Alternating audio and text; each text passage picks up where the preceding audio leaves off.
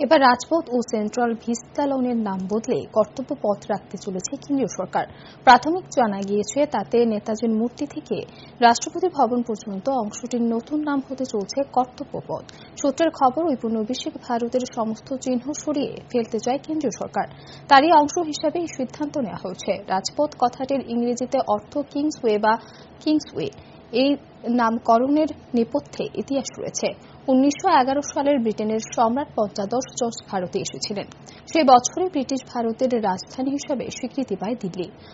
আর তখনই রাস্তাটির নামকরণ হয়েছিল রাজপথ যা কিনা কিংসওয়ের হিন্দি তর্জমা। সেন্ট্রাল ভিস্তা পূর্ণ উন্নয়ন প্রকল্পের অধীনে ওই সড়কের নাম হয়েছে সেন্ট্রাল ভিস্তা এভিনিউ।